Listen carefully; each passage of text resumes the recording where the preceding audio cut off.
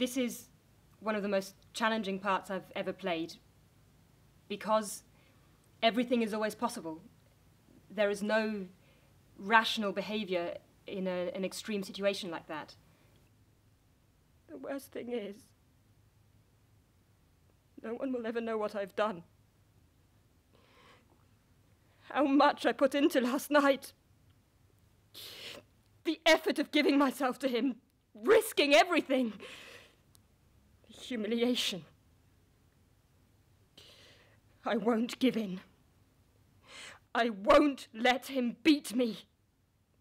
There's always that underlying tension which can completely break and change the mood at any moment. Um, and that makes it a very exciting part to explore. And I hope that'll make it a very exciting play to watch as well for the audience. Don't you feel this has gone on long enough?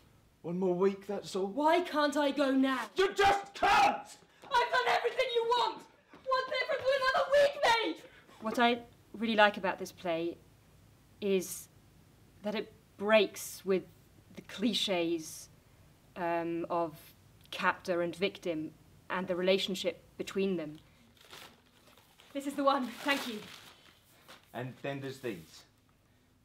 I didn't bother wrapping them as they're for practical use, you know. What did they say when you bought all those? I think they thought I was a bit peculiar. It's a psychological thriller. So both sides struggle for power, but also for understanding. Um, and both sides just have so much to lose. I've told you. You do want to, don't you? I don't want to talk about that. Why not? If that's what you want. I don't think it's right. I don't allow myself to talk about things I know are wrong. I don't think it's right. So don't miss it. Please come and see our production of The Collector.